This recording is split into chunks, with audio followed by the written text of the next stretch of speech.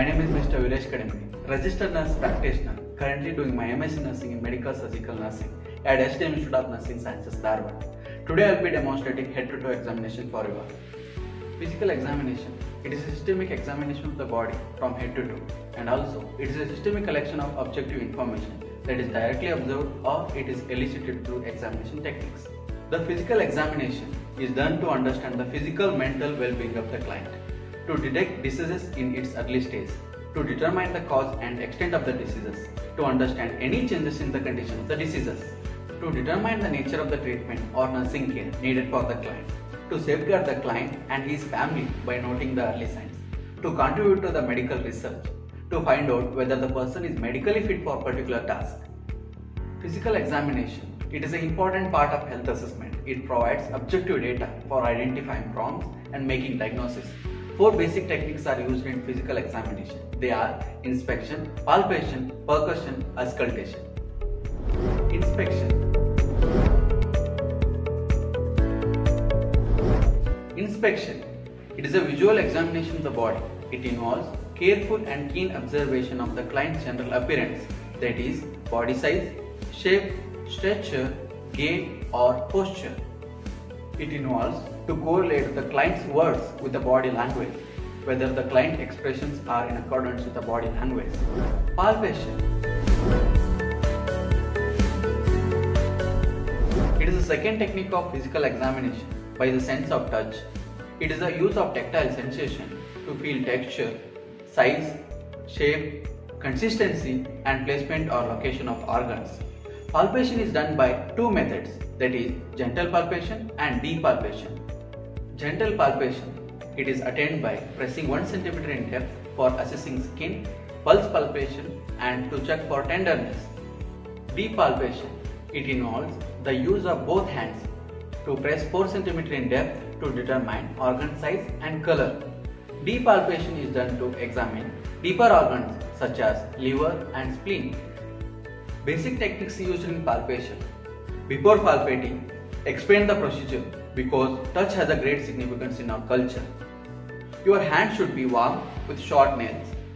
Ulnar surface is more sensitive to vibrations. Dorsal surface is used to assess the temperature. Percussion.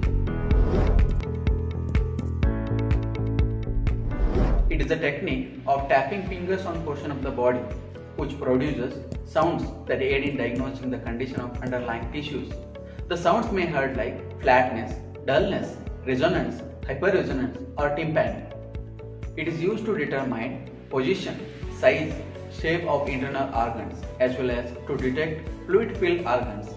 Percussion consists of two types that is direct percussion, indirect percussion. Direct percussion. Here, one or two fingers are used to percuss directly against the body surfaces, such as over the sinuses to elicit tenderness. Indirect percussion.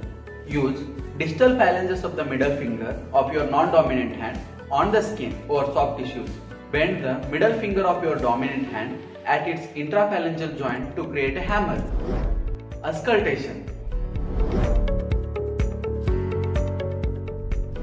It is a technique to listen to internal body sounds, to assess normal sounds and detect abnormal sounds. It is a final technique of physical examination where stethoscope is used to enhance sounds from heart, lungs, vascular system. Techniques of using stethoscope in auscultation. Hold the diaphragm between the index and middle finger firmly against the skin surface to hear high pitched sounds such as lung sounds, heart sounds and blood pressure. Place the bell lightly in contact with the skin to hear low pitched sounds such as murmur and bruits. Place the chest piece on the skin so that it is between bone and not over them because bone does not transmit sound. Clothing and excessive chest hair interfaces with the sound transmission and may introduce artifacts. Snug fitting earpiece. Occlude the external ear canal to enhance sound transmission from the chest piece. Keep the tubing no longer than 12 to 15 inches for the best sound transmission. Fears of contact with all surfaces to prevent extraneous noises.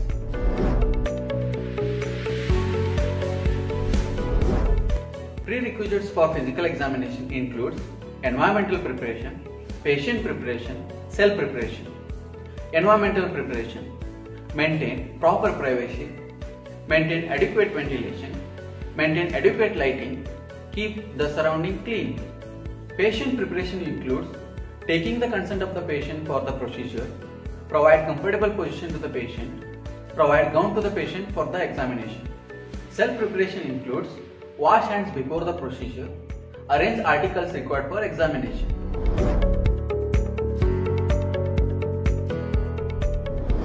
Articles required for physical examination includes TPR tray containing thermometer to check temperature, watch to check pulse rate and respiration rate, sphygmomanometer to check blood pressure, stethoscope to auscultate body sounds, tongue depressor to examine mouth and throat, laryngoscope to examine the larynx, measuring tape to measure the abdominal girth, torch to visualize any part of the body, otoscope to examine the ear, tuning fork to test the hearing, mouth mirror to look for gums or teeth, nasal speculum to examine the nostrils, knee hammer to test for reflexes, proctoscope to examine the rectum, gloves to examine the body, sterile specimen bottle to collect specimen if necessary, Snellen chart to measure visual acuity, pulse oximeter to monitor SpO2 level, cotton ball and some ingredients like sugar, salt, coffee powder to know sensory function, weighing machine to check the weight, stadiometer to check the height. Let us move on to general physical examination. Before general physical examination, perform hand washing.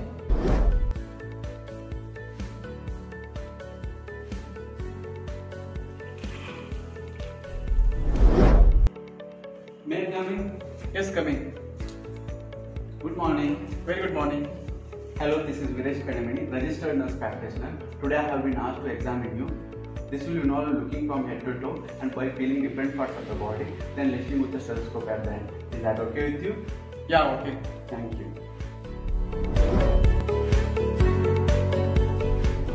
May I know your name and age, please? Yeah, sure. It's Ajay Kumar. I'm 30 years old.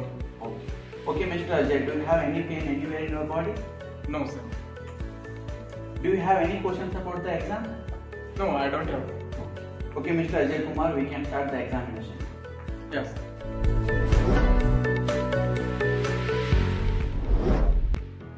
Starting with the general appearance. According to which general appearance of our patient will be Mr. Ajay Kumar, 30 years old, moderately built and well nourished, conscious and active in nature. So now let us move on to general mental status examination. General mental status examination concentrate on patient having orientation to time, place, person.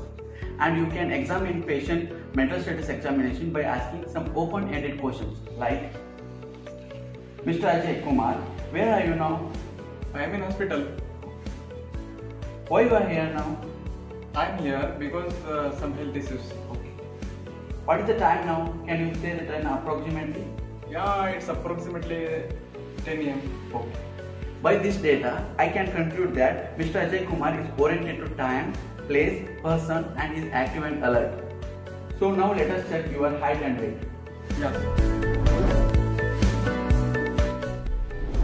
And stand here.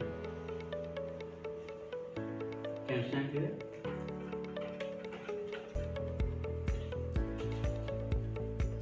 So your weight is 61 kg. Can you stand here? Look straight. Let's check your height. Can you come this side? So your height is 169 centimeter. Mr. Ajay, now let's calculate your body mass index. To calculate the body mass index, we use the following formula that is body mass index equal to weight divided by height in meters square. So our client weight is 61 kg and height is 169 centimeter. So 21.4 kg per meter square is the body mass index. So my client Mr. Ajay has normal body mass index.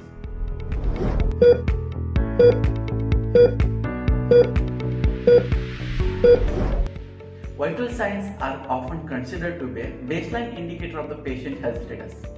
It is necessary to know the cardinal signs of the patient. It includes temperature, pulse rate, respiration rate, blood pressure. So, Mr. Ajay, could you please lie down?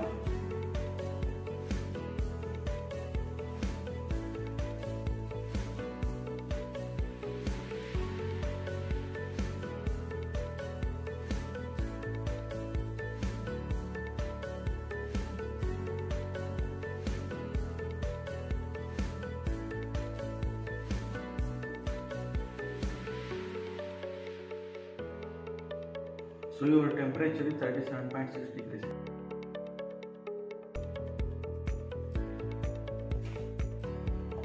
Now I'll check your blood pressure.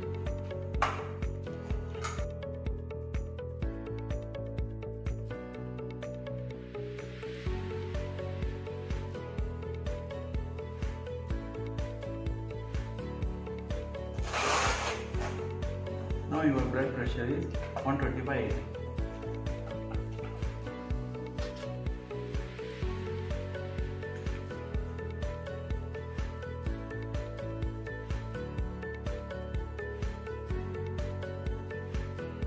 So your SpO2 level is 95%. Vital signs of Mr. Ajay. Temperature is 37.6 degrees Celsius. Pulse rate is 72 beats per minute. Respiration is 20 beats per minute. Blood pressure is 120 by 80 mm of Hg. Oxygen saturation is 95%. By this I conclude Mr. Ajay's vital signs are normal. So let us move on to head and face examination.